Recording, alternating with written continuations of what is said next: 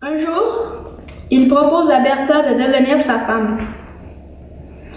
Comme toutes les autres, elle refuse. Par contre, elle regarda avec envie ses richesses. Bertha dit à ses amis quel est le plan? Il va faire semblant de l'épouser, Barbe Bleue, pendant que l'une de ses amies l'assassinera avec un couteau, un couteau de boucher.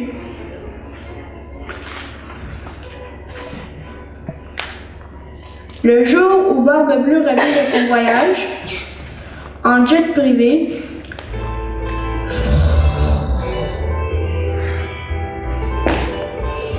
Bertha l'embrasse en lui faisant croire qu'elle l'aime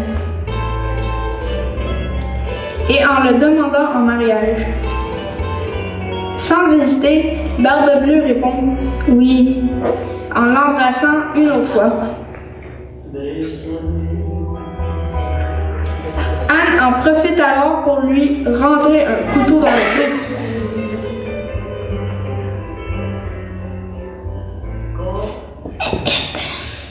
Barbe Bleue s'é- Barbe Bleue s'écroule. Quelques jours plus tard, Bertha hérite de la fortune de Barbe Bleue. Et bientôt, elle rencontrera un homme qui la rendra heureuse.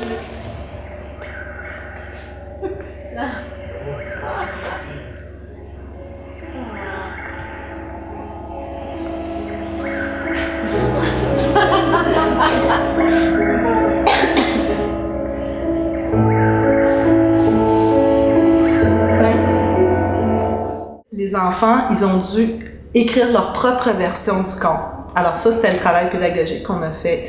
Les apprentissages que eux ils ont fait, c'est d'apprendre à prendre une version originale puis la transformer, l'adapter. Chaque équipe avait une partie à écrire, donc il y avait beaucoup de travail en coopération et à travers ça, on a fait plein de petits ateliers.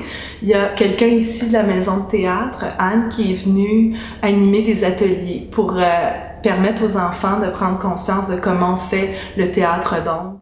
La première conséquence, c'est d'abord de vivre une réussite. Donc, d'avoir fait un projet jusqu'à sa finalité.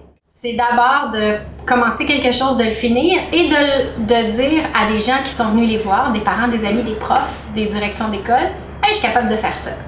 Ça, c'est la première réussite. Parce qu'au niveau du.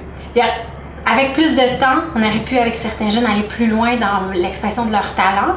Il y en a, peut-être qu'on a fait naître des, des petites étincelles, puis après ça, on verra. Je vais te parler, tout le monde me voit, là, je suis pas derrière les autres. OK.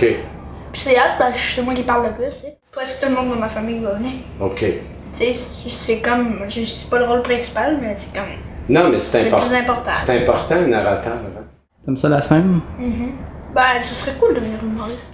Mais même si c'était, des fois c'était un peu ennuyant de travailler, ben ça donnait, ça apportait des choses, comme on peut dire.